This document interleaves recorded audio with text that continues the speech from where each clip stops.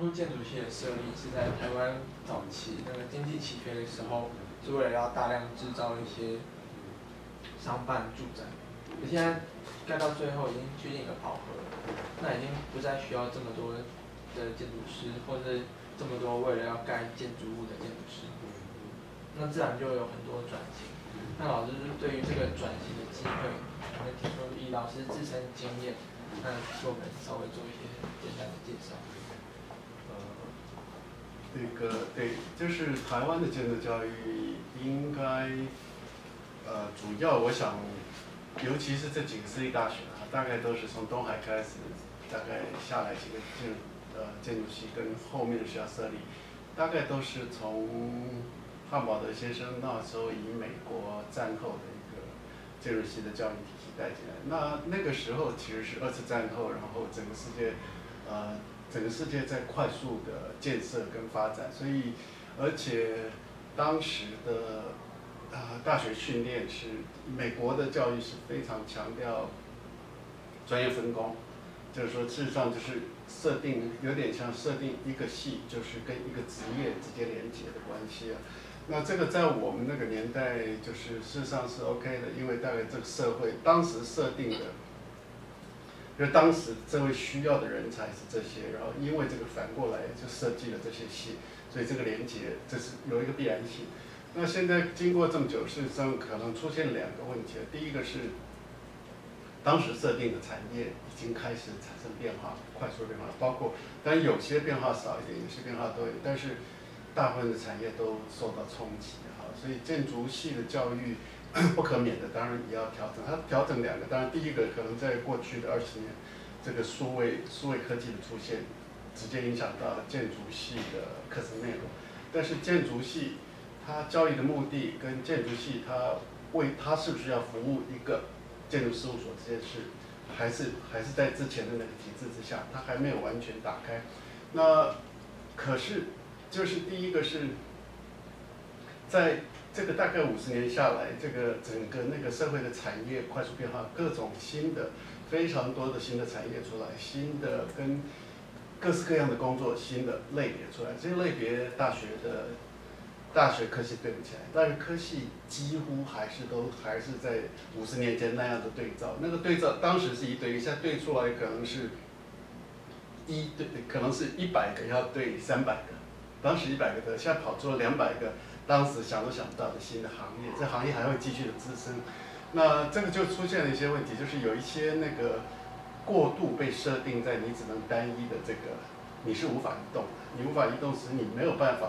参与到这个快速变化的产业性。那我想建筑系不管他是他是不是要固守的建筑的专业，或者是他想要涉足到其他相关的快速改变的一个社会产业，他可能都要重新思考这个问题。那整个的趋势来讲，呃，产业的变化会越来越快。就是事务所是不是以后呃建筑设计的最大核心都可能有问题，可能会移转，可能别的行业会主导这个也说不定。它不一定是会是像传统的就是事务所，然后那种工作模式，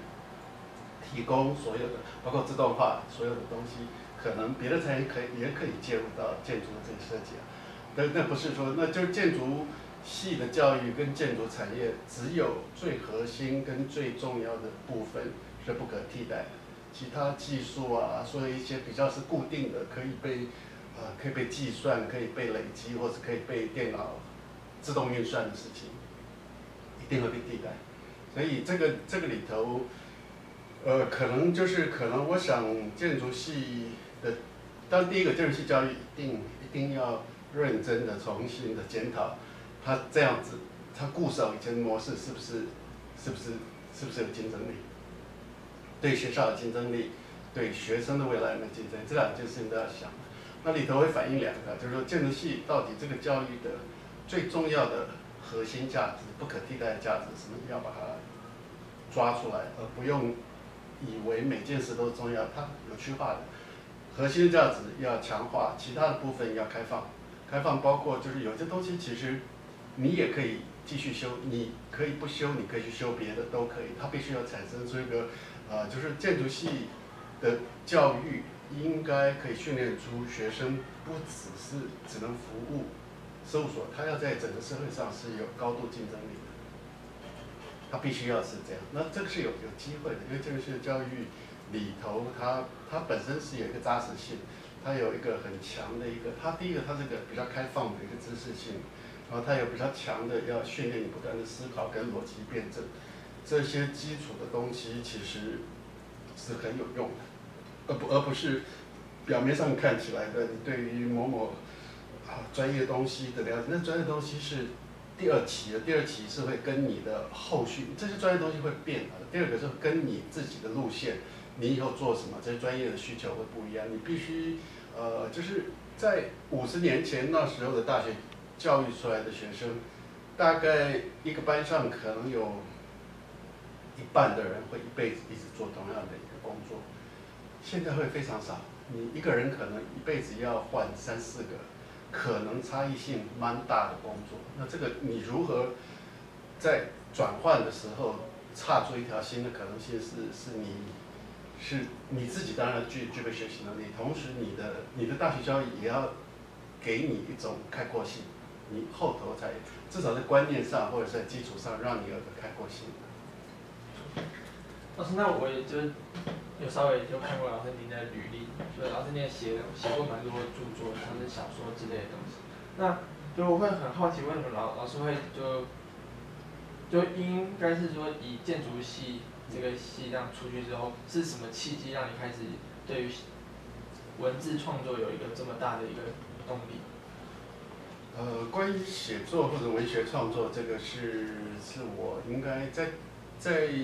这是我个人的兴趣啊。那在大学的时候，其实是有比较发展。那发展当时也并没有，因为我们那时候的观念就是认为，你念建筑系，你以后就是进事务所，就是做这个事情。在当时是没有，几乎没有人质疑这个事情。所以我当时对这个文学的兴趣，纯粹就是个人兴趣，并没有想说这个事情以后会变成我的，对我有什么用啊，或对我没有没有这样去想。可是这个东西发展下来，呃，而且当时我们在我在担任建筑系那时候，我们呃，当时我们那我们班上或那那个附近那那段时间的整个西上的风气其实是蛮开放的，所以呃，不管是对电影啊、对文学啦、对很多摄影啊，很多事情其实都是很开放，就大家会觉得这些事情就是应该要去了解，但是没有并没有目的性，每个人都还是想以后是要进事务所。那可是这些事情到最终，你现在在看这些，好像当时花的时间做的好像是不务正业的啊的事情啊，事实上是有用的，而且非常有用。我现在看起来，其实呃当时比较不务正业的一些人，会去发展一些别的东西，是现在比较有趣或者或者比较被注意到的人。当时最真正最循规蹈呃蹈矩的去就是去做那个所有课堂的事情的人。现在反而不见得怎么样，呃，那个是那个是你你自身的开阔性，那个当时完全没有在。我现在在看，就你的开阔性，跟你使你在思考事情、判断事情，以及在你在后来人生的过程中，你在做，你必须常常你会遇到很多选择的时候，你在很多选择的时候，你的选择性有多少？你有没有机会踏出去唯一的一条路，踏出去一点点，尝试别的可能性的？那个会跟你早期的东西有关。那当你固守的太单一的时候，你有时候差不了，差不了的意思是你就不能选择，你就硬着头皮要下去。硬着头皮下去，有时候不见得是好事。那主客观的因素不是你自己要就可以，有时候你就是会卡到，卡到就走不动。那能够差的，能够有更灵活的一个人生选择跟那个生涯规划的人，其实是。我现在看起来是比较有机会发展的更开的。那就以就我们现在目前的建筑系学生来说，可能一二三年级老师都会很注重一件事情，就是可能你的想法要比较建筑一点，就是你要用建筑的手法来解决问题。所以那我们就是一开始可能都哦开始深信不疑，可到最后就越读到高年级就会发现有时候。建筑就盖一栋房子不能解决什么问题，但是以建筑的那些想法，或是以一些社会行为或是社会行动的方式，能相对的呢，比起你盖一栋房子能解决的问题，是不是相较之下比较多？呃，这这当然是，就是呃，建筑系它其实是一个又专业又又鼓励宽广的一个一个一个行业。它在你你即使你做一个设计里头，老师跟你讨论或评图里的时候，他也不会只看你的技术性了，他还要跟你讨论很多问题啊。所以呃，那至于说你一个人，就不要管你学什么，你要回回答这个世界的问题的时候，没有任何一个学科可以说是它是。它是训，它是训练来回答的，它必须这个牵涉到很宽宽广的复杂的面。那建筑系的训练强调你有一个主体的专业，它没有什么坏处，但是也不要以为，呃，因为建筑训练，我们就讲那专专业的一对一的训练里头，要很小心的，就是它有时候会过度鼓励你变成一个，就是一个一个工具，你的工具就是你变成一个非常好的工具，可被别人用，但谁在用你不知道。用你的人可能是一个很很很危险、很恐怖的人，他可能要去做一个你不认同的事情。可是你如果是工具，你就没有判断性，你就是只你只是一个好的工具，你就会被别人用。但是作为好的工具不是坏不是坏事，可是作为好的工具没有自我判断能力是有问题的。但是如果过度强调说你的那个工具性能的训练，它当然有危险了，因为。你你你这工具就好像一个火药，它可以拿来做很好的事情，它也可以做很可怕的事情它的威力很大，是交在自己手里。那火药本身是没有没有主体的，啊，那所以建筑专业的训练不是问题，但是你不可以因为专业而放弃你作为一个人的主体。那作为一个人主体，不能靠建筑专业来建立，你要靠很多东西，你要你要广泛的阅读，你要广泛的。涉猎各种角度的事情，使你能够有一个看事情的观点，跟你你才能建立自我。你的自我假如有的话，你再加上你你的专业就 OK。但是专业不是问题，可是有专业没有主体是问题。所以建筑系要训练专业没有问题，但是只训练专业，不让你有机会发展主体是。是有问题的，就是有一些比较是人文性的科技，它可能会鼓励你，就是比较广泛的，就是没有目的的去阅读做一些事情，所以它没有专业，啊，它它会有观点，可是它反而很难介入，因为你的观点你还是需要一个一个介入的一个一个工具跟模式，没有工具跟模式你也做不了任何事。那建筑只是工具，可是一定是你的本体高于工具，不是工具高于本体。可是没有工具会使你很难做事，或使你没有一个发言的位置点。嗯，那那我想请问一下，就老师在求学的过程中有没有遇到某些前辈的影响，或是哪些事情的让让让你现在是处于这个这个位置？我们我是在七零年代的后半期在在这念书，那时候其实是台湾很激烈，就从乡土运动开始，党外运动。都很激烈的发展，那个乡土论战，然后呃，像我在淡江那时候的呃，就是我大学呃那个民歌运动，淡江是一个本音，就是要那个庄者这边要唱自己的歌，所以自己的一个本体性的这个东西的建立，然后台湾是什么，然后乡土乡土文学就是跟西方学习，跟建立。自己本体，这这种在我那时候是很很激烈的。那那时候的七零年代末期，淡江也是当时的党外运动，就是整个党外运动不是民进党，就是整体的对于对于当时一党专政国民党的一个批判性的力量，在校园里非常的非常的激烈。所以那时候的校园是非常的非常的活泼，非常的非常的多元的。呃，那那个东西。我在大学不是一个不是一个激进的，不是一个不是一个跑，我基本上是比较比较在第二线，比较在看，不是不是在第一线跑。但是，呃，我我的身边一些好朋友比较比我激进，他们做比较多。但是我当时这个整个的气氛，包括一种对于文学啦，对于音乐啦，啊，对于民主啦，对于台湾。台湾自己的本体是什么？这些事情，那时候，呃，就是整个环境都是这样。那个东西，我我觉得那东西对我们影响蛮大。就是你会被鼓励要更开放的去涉猎各种知识，因为在不同的地方他们会谈到各式各样的事情，各种专业的事情他们会讨论，所以你会你会必须要去了解。然后第二个是，你会比较呃，因为整个那个时代会有一种要改革的一种理想性，所以会有一种比较有理想的理想的一个呃理想色彩的一种态度。那那个很重要，因为你你要有一个理想色彩态度，你其实在应对现实的时候，现实基本上是会提供一些交换性的诱惑了。现实就是给你名给你利，你做了什么，你的我就给你换一个，给你一个官位，给你一个什么职位，给你一个多少钱。那在这过程中，基本上现实常常是要把理想排除的，它是需要你的一个比较是一个交易。就是一个，你给我什么，我给你什么，那它是一个交易。那交易的过程中，如果你没有一个那个就是个人的主体跟理想性的话，你基本上是会跟着他走，他就把不知道把你带到哪里，你也不知道你要去哪里，你反正就是啊这个呃职位越来越高越好，钱越越多越好，其他为什么不知道？那那个时代是是有有灌输一种就是比较是一个。一个大学生应该要这样，应该要那样，这种这种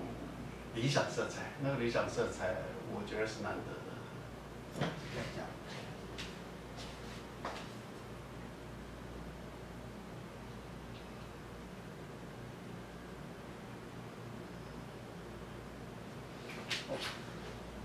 老师，那我们就那我想回应一下，我们这次的题目叫做“几怕笑”。嗯。那我就想请问一下老师。在这个，比如说一百分之百就是最后可能一整一整个完全是一个作为建筑设计出来，然后并都在做建筑的事。那老师是落在哪个位阶，或者老师你将建筑的哪一部分存留下来，你舍弃了哪哪些部分？那造就你现在目前处在一个状态下。我是觉得就是你们用这发酵茶的发酵是蛮有趣的，因为到底一个是。发酵度很低跟很高的，到底哪一个好？似乎是我们都可能好，我们无从判断。但是你假如放到一个年轻人或是一个人的生涯来看的话，呃，我觉得不要，尤其是年轻人，不要太快的让自己成为一个全发酵的人，因为你你全发酵你就你你就就就定型了。那那个不可比较是不可，要一直要维持一种还可以再发酵的状态。那那个你那个包括，其实最后一个人能展现的力道跟他展现的那种可能性，很大部分是在他离开学校之后十到二十年，他他积累的东西，包括他的他的各种能力啊，他的一些东西，不是那甚至于专业专业的建筑专业不可能在学校学的，那是虽然口口声声说要一定要学好，但是不可能。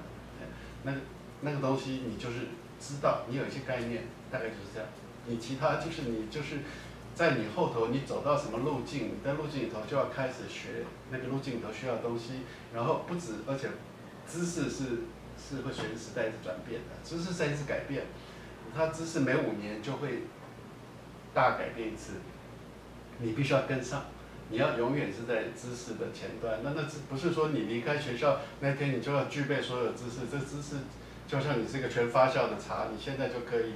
变成世界最好的茶，没有这种事，你还是一个未定型的，而且你再来，你可能要怎么发酵，你可能要如何与什么东西合在一起发酵，你都不知道，你要维持你的开放性，那而且说不定到底死的那天，你都还是一个。不定型的人你要一直维持一种柔软的学习性。那柔软学习性是你自己的抉择哦。你在学校是会被逼着去学这个学什么，然后给你排一个菜单，你一离开学校就没有菜单了，全部是你自己。别人要你做的事情是要你从厨房出菜，而不是不再提供菜单给你了。你自己要开菜单，然后你要去买材料，你自己要去把这所有事情完成。可是很多决胜点。就是在那种状态，你有没有办法自主的去去思考你再来，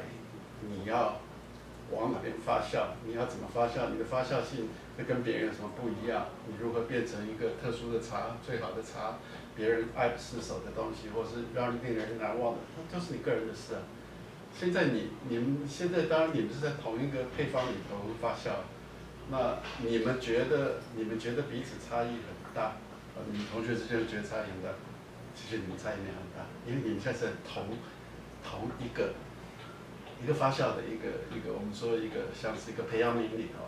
你一撒出去，各自落在不同的地方的时候，那时候才会才会开始差异性才会出来。十年后的差异性就出来，二十年后的差异性更大。老师，那刚刚就已经，那我就就会，我就有一个马上就有个问题，就是像